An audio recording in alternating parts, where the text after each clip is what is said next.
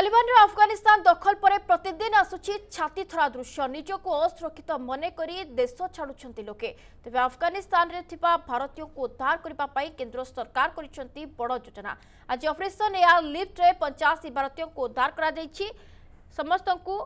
ବାୟୁସେନାର ସ୍ୱତନ୍ତ୍ର ବିମାନ Shri C one three zero J ଦ୍ୱାରା ନୂଆଦିଲ୍ଲୀ ଅଣାଯାଉଛି ସୂଚନା ଅନୁସାରେ ବିମାନ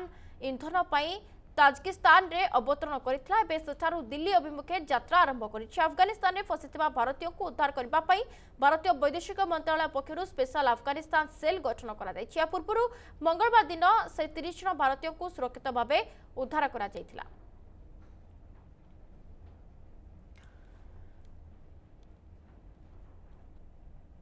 ଗଗନ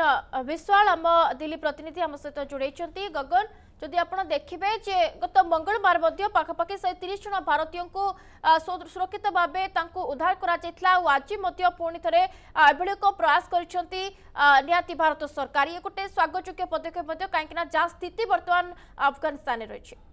देखो निश्चित भाव बर्तमान व्हाट एंड मिशन पॉलिसी जो मिशन एयरलिफ्ट भारत सरकार नहीं તો નિશ્ચિત ભાવે મંગળવાર દિન જો ભારତୀୟ ଦୂତାବାସ ସେଠା ଥିଲା ସେଠାରେ ଯୋଉ ନାଗରିକମାନେ ଥିଲେ କିଛି ପତ୍ରକାର ବନ୍ଧୁମାନେ ଥିଲେ ରାଜନୟିକ ମଧ୍ୟ ଥିଲେ ଏବଂ ଏମ୍ବେସିର ଯିଏ ଆମ୍ବାସାଡର ଆମର ରହିଛନ୍ତି ଦୂତାବାସ ଯିଏ ଥିଲେ ତାଙ୍କୁ ମଧ୍ୟ ଉଦ୍ଧାର କରାଯାଇଥିଲା ଆଜି ନିଶ୍ଚିତ ଭାବେ ଗୋଟେ ଭଲ ଖବର ଆସୁଛି ନିଶ୍ଚିତ ଭାବେ ଭାରତୀୟମାନେ ପୁଣି ଥରେ ଆସୁଛନ୍ତି ଏବଂ ପଞ୍ଚାଅଶୀ ଜଣ ଭାରତୀୟଙ୍କୁ ନେଇକି जो ସି ୱାନ୍ ଥାର୍ଟି ଯିଏ ଆମର ବ୍ଲୁଷ୍ଟାର ରହିଛି ଭାରତୀୟ ବାୟୁସେନାର ଇଏ ଗୋଟେ ଯୁଦ୍ଧ ବିମାନ ବୋଲି କୁହାଯାଇପାରେ ତ ନିଶ୍ଚିତ ଭାବେ ଭାରତ ସରକାର ଏଇ ଯୁଦ୍ଧ ବିମାନ ଗୁଡ଼ିକୁ ଏଥିପାଇଁ ୟୁଜ୍ କରୁଛନ୍ତି କାହିଁକିନା ଭୟ ରହିଛି ଅନେକ ସମୟରେ ଯୋଉ କାହିଁକିନା ଦେଖିବେ ବର୍ତ୍ତମାନ ପାକିସ୍ତାନ ଏବଂ ଆଫଗାନିସ୍ତାନର ଯୋଉ ଏୟାରବେସ୍ ବା ଏୟାର ଟ୍ରାଫିକ୍ ସିଧାସଳଖ ସେମାନେ ବ୍ରେକ୍ ଲଗେଇଛନ୍ତି ତାପରେ ଉଡାଣ ଭରି ପାରୁନି ତେଣୁ ଆମର ଯୋଉ ଫ୍ଲାଇଟ୍ ଗୁଡ଼ିକ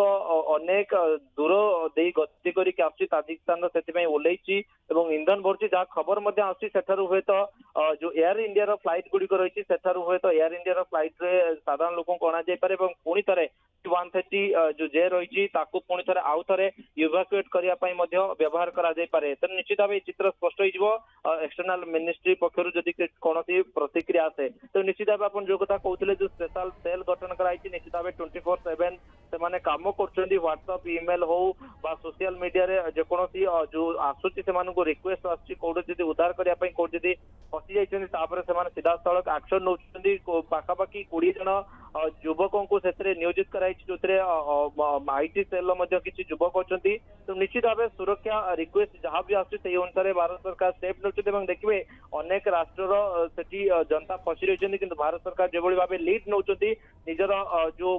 नागरिक मानक सेफ एंड सिक्योर भाव में किभली भाव भारत बना पार और आगे कथा एड चाहे करता देखिए साधारण विमान गुड़िक बर्तन उड़ाण भर कष्टाध्य रही कहीं जो